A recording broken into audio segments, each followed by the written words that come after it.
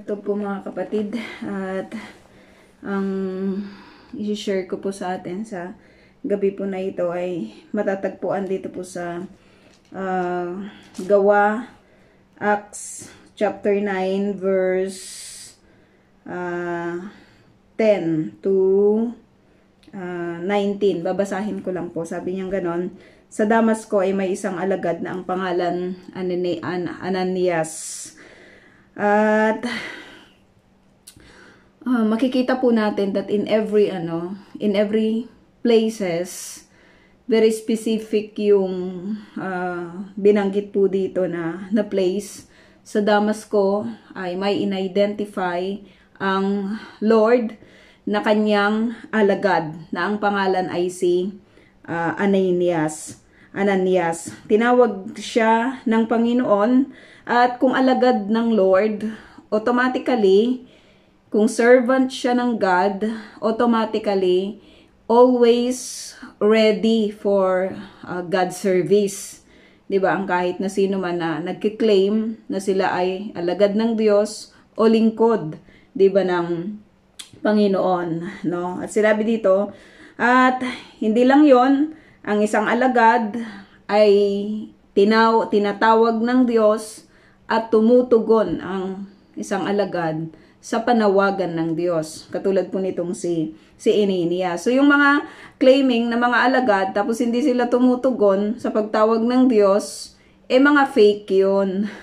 ba? At marami po sa kapanahunan natin ngayon ang mga ganon, no? Sabi dito, ano po 'yun, Panginoon, tugon niya. Ang makita natin dito, ang ganda-ganda lang nito kasi ang pagtawag ng Diyos sa kanyang lingkod identified by the servant.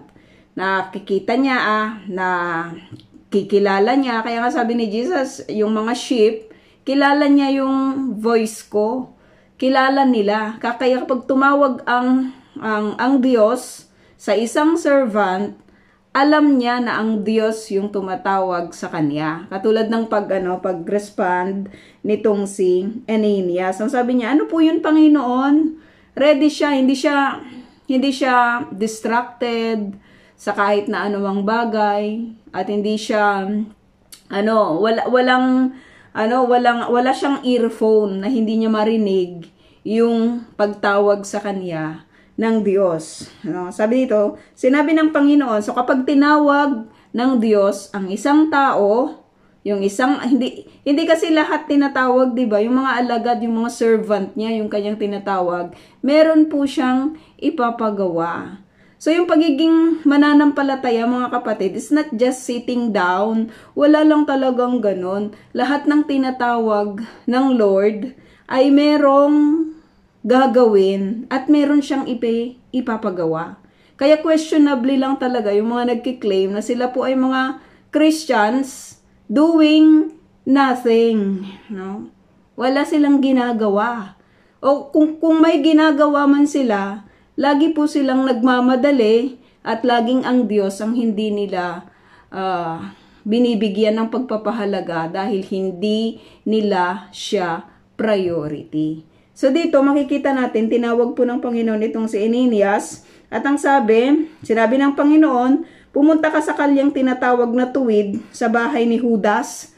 Ang ang ganda lang nito sapagkat ano, kapag kapag nagbigay ang Lord ng instructions, kapag may papagawa ang isang ang isang Diyos na ito na tumatawag po sa kanyang servant, detalyado po yung kanyang instruction. Hindi hindi magulo, 'di ba?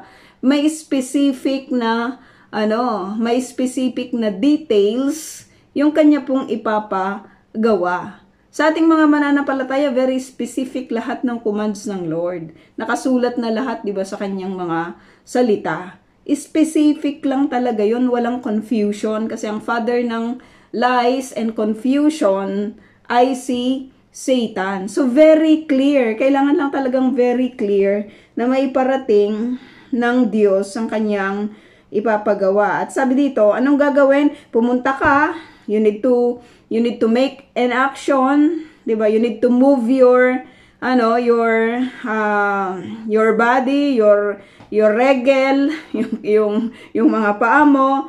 Sabi niya, saan? Doon sa tinatawag na tuwid. So hindi ka na kailangang mag, mag ano, mag maghahanap pa kasi may address na. Ano at sabi dito, sa bahay, meron bang bahay ano, bahay ni ni Judas. So doon sa kalyeng tuwid, doon sa tinatawag na kalyeng tinatawag na tuwid ay uh, hanapin mo yung bahay ni Judas doon, ipagtanong mo ang isang lalaking taga-Tirso na ang pangalay Saulo. So makikita natin dito mga kapatid, 'di ba na yung yung character ng God is he is a God who is all-knowing. Alam niya na sa panahon na yon ay nandun si Saulo nandun itong tao na ito na taga Tarso, sabi dito, na ang pangalan ay Saulo. Alam niya lahat.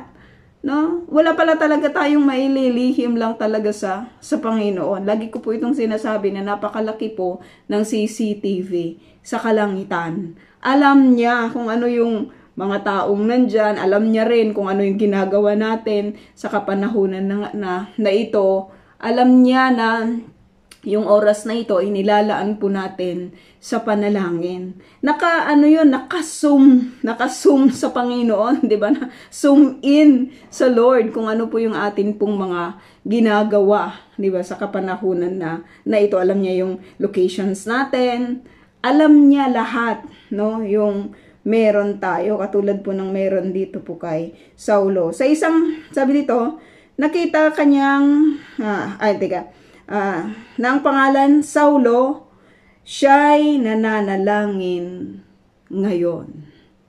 Siya'y nananalangin ngayon. So kung titignan natin mga kapatid, in every utterance pala ng prayer, in every locations ng prayer, di ba, iba-iba tayo ng mga locations. Pero, nakakatuwa sa Panginoon, na alam niya yung mga panahon na tayo po ay nagre-render ng ating prayer. Alam mo yung pinaglaanan ng panahon ng Diyos na tawagin itong si Enenias upang puntahan itong si Saulo na nananalangin sa mga oras na yon, sa mga panahon po na uh, ito, ano na uh, pinag-aaralan po natin yung uh, naisulat ano patungkol dito. Sabi sa 12, nakita kanyang pumasok sa kinaroroonan niya at pinatungan mo siya ng kamay upang siya ay makakitang muli. Diba? Sa pananalangin, ang dami lang talaga nating makukuhang mga benepisyo. Diba? Ang dami nating makukuhang benepisyo. Dito pa lang makikita natin na ang benepisyo ng prayer ay nakikita natin yung uh, yung connection natin sa God, yung fellowship natin sa Panginoon, yung peace natin, 'di ba sa uh, sa Lord, yung healing natin, nakatulad po ng makikita po natin dito po kay kay Pablo. Syempre, very ano to, very troubled man ito sa kapanahunan na 'yon. Ikaw ba naman yung hindi makakita? 'di ba? Pero sa sa tanang buhay nitong si Saulo o si pa, si si Pablo, makikita natin na all his life, he dedicated himself being a Pharisee into prayers. diba? Marami po siyang mga panalangin na ginawa sa tanang buhay niya pero tanging dito lang sa portion ng scripture na ito na inacknowledge ng Lord yung kanyang prayer ay authentic at na tanggap or tinatanggap ng Panginoon. Maraming mga prayers ang ginagawa sa kapanahunan po na ito na hindi nakararating sa kalangitan, 'di ba? Kasi wrong yung ano, mali yung pamamaraan ng tao, hindi siya mag, mag subukan mong ano, sumulat ng uh, uh, kahit na anong uh, kunyari love letter. Sumulat ka ng love letter, ipadala mo 'yun sa kung ikaw ay may asawa, may asawa ka, uh, ipadala mo yun sa asawa mo. Pero yung, ano, uh, yung address nito ay ilalagay mo kung ano lang yung inimbento mo. 'Di ba? Inimbe-invento mo lang yung yung address mo or i-address mo ito sa ano sa sa ibang lugar, 'di ba? Hindi 'yun makakarating sa asawa mo. Kunyari ang asawa mo nasa Mindanao, nagsulat ka at in-address mo sa Isabela, kunyari lang, hindi makakarating yung sulat mo. Ganon din sa mga prayers. Marami pong mga prayers na ginagawa sa kapanahunan na ito. May mga nagsusugat ng kanilang mga sarili. Di ba? Sinusugatan nila minsan yung kanilang mga tuhod sa pag, ano, uh, naglalakad sila ng patuod. Di ba? Papunta doon sa altar ng sinasabi po nilang Diyos. Pero ang nakakalungkot na mga katotohanan sa kapanahunan na ito, hindi yun nakakarating or nakararating, 'di ba sa sa Panginoon. No, maraming mga prayers itong si Paul pero hindi nakarating sa Lord. Tanging ito lang ang prayer na nakita po ng Panginoon. Nasabi niya, siya'y nananalangin. Ang sarap lang nitong makita sa atin mga kapatid na sabihin ng Lord na totoo siyang nananalangin. Siya'y nananalangin sa kapanahunan na ito. Pero, pero hindi, eh, may mga instances no na uh, sana wag naman sabihin ng Lord na hindi siya nananalangin, 'di ba? O kaya mali ka ng pinananalanginan. No, hindi sa akin papunta yung iyong prayer kahit gaano ka pa ka-devoted. Na, kung babalik tanawin natin mga kapatid, ito yung na ano, ito yung napag-aralan natin sa Old Testament na isa sa mga bagay na pinangangalagaan ng Lord doon po sa tabernacle ay yung incense of prayer. 'Di ba yung altar of prayer? Na kung saan nag aano sila, nag uh, lalagay po sila doon ng insenso nang walang patid. So ganun kahalaga ang ano, magmula pa lang nung inestablish ang Lord, inestablish ng Lord yung kanyang ano, yung kanyang relationship sa tao, una niyang binigyan ng pagpapahalaga yung altar na kung saan doon uh, ilalagay, 'di ba, yung mga insenso, yung mga panalangin na mag, mag, mag ano sila magbe-burn sila ng incense doon sa altar na yon na kung saan makikita po natin na ito po ay mga panalangin ng mga uh, tao na idinudulog sa sa Panginoon nakakalungkot lang talaga sa kapanahunan natin sa ngayon. Sapagkat hindi lang sa iglesia na meron tayo, kundi sa buong community, sa buong buhay ng mga iglesia sa buong mundo, marami po yung hindi nagpapahalaga sa prayer. Marami yung mga hindi nagpapahalaga sa prayer. Maraming nagsasabi, marami akong gagawin. Ano ba yung profit na makukuha ko dyan? Ano ba yung maipuprove? Pwede naman akong manalangin na mag-isa. Diba? Pwede naman akong makipag-usap. Bakit pa kailangan akong, ano, uh, kailangan akong nandidiyan, di ba na, uh, manalangin, di ba? Nakakatakot pala yung ganong mga sinasabi. Sapagkat ang sabi ng scripture, tanging mga wicked lamang ang nagsasabi noon. Tanging mga wicked lamang, tanging mga masasamang tao lamang yung nagsasabi ng mga ganong mga bagay. Bakit kailangan kong manalangin? Wala namang Diyos. Yung mga fool sinasabi nila, wala namang Diyos. Kaya tayo ng mga mananampalataya at nanun, na naniniwala sa kalakihan po ng Diyos natin. Binibigyan lang talaga natin ito ng mataas, di ba na, pagpapahalaga. Kasi wala nang ibang paraan, wala nang ibang form na ibinigay ang Diyos sa tao in order for your voice, for my voice to be heard, maliban sa prayer. Wala na, di ba? Oo, mahalaga yung iba. Mahalaga na tayo naglilingkod sa Panginoon sa pamamagitan ng pagsayaw, pag-awit, 'di ba? Pero iba yung ano, iba yung ministry ng prayer sapagkat dito talaga binigyan tayo ng boses ng Panginoon na makipag-usap sa kanya. Sino tayo? 'Di ba? Ang kakausapin natin ay King of Kings at Lord of Lords at nagagawa natin 'yon sa pamamagitan po ng uh, prayer.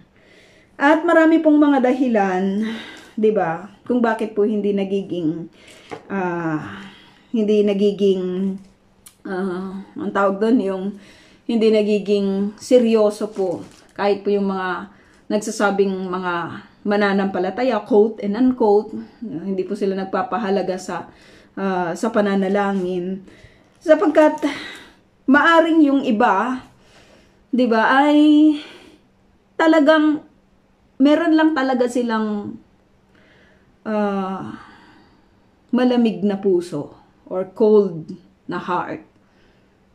Ayaw nila sa Panginoon. Kasi kahit ngayong malamig at saka yung mainit, di ba? Uh, hindi niya alam kung malamig siya o kaya mainit siya. Half-half. Isinusuka po ng Panginoon. Ang sabi niya doon po sa, uh, sa Revelation. Yung walang init 'di ba, sa Panginoon. Yung walang connection sa Lord. At ang mga walang connection sa Panginoon ay yung mga wicked, 'di ba? Yung mga wicked kaya ayaw po nilang manalangin. O kaya may mga ayaw ding manalangin at maglaan ng panahon sa oras ng pananalangin na katulad po nito. Kasi kung titignan natin yung attendance ng mga prayer meetings kahit sa mga ibang mga churches, ibang-iba doon po sa mga Sunday or Saturday service yung mga Saturday or service ano na mga na, nangyayari. Ibang-iba lang talaga yung mga attendance pagdating po sa prayer uh, meetings. Kahit once in a week lang ito, pero tayo kasi marami na tayong mga ano no, marami tayong mga meetings at salamat sa Panginoon sapagkat talagang ano, talagang naglalaan talaga tayo ng panahon to be with uh, with our God, 'di ba? From Monday, Tuesday, Wednesday nag-aaral tayo ng kanyang salita and then Thursday ay nananalangin tayo sa kanya. Friday, naghahanda po tayo sa atin pong uh, pakikipag-meeting or pakikipag-ugnayan sa kanya sa araw po ng Sabado. Pero marami yung mga disappointed kasi sa Panginoon. May mga disappointment sila sa Lord, may mga disappointment sila sa buhay na ito.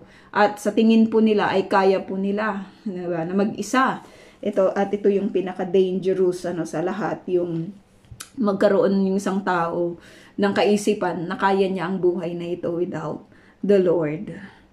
Marami din yung hindi uh, hindi tumatawag sa Lord sapagkat grabe po yung kanilang ano pride, 'di ba? Grabe yung kanilang uh, very proud po sila, lalong-lalo na sa kanila pong mga achievements, sa kanilang status, 'di ba sa sa buhay. Kaya pala sabi ng ano, may may portion sa scripture na sabi niya, "Huwag mo akong payamanin kasi baka makalimutan kita." 'Di ba? Or wag mo rin akong pahira pa ano, pahirap pahirapin baka ma ano ma masumpa kita.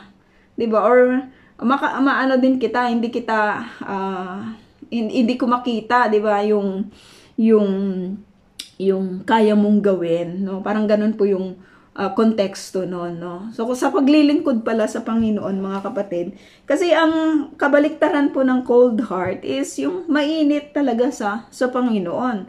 Yung disappointed ka naman ay ang kabaliktaran po nito ay yung ano, yung talagang nagtitiwala ka, 'di ba sa sa Panginoon. Kaya salamat ano sa sa bawat mga attendance ng mga prayer uh, meeting sapagkat ipinapakita po natin yung kainitan natin, 'di ba, sa Panginoon at yung pagtitiwala natin sa Lord at yung pagiging humble natin sa kanya. Kasi once once we uh, may, may makes our prayers to God, ina-acknowledge po lang talaga natin na siya po yung may control, 'di ba, sa bawat uh, isa po ano sa sa atin. And uh, lastly, mga kapatid, may mga hindi po nagpapahalaga sa prayer sapagkat wala po silang pag-ibig, no? Lalong-lalo na doon po sa mga lost na souls, no? Doon po sa mga hindi pa nakakakilala ano sa sa Panginoon. So, salamat sa Lord sapagkat tayo po, patuloy ko po itong inuulit,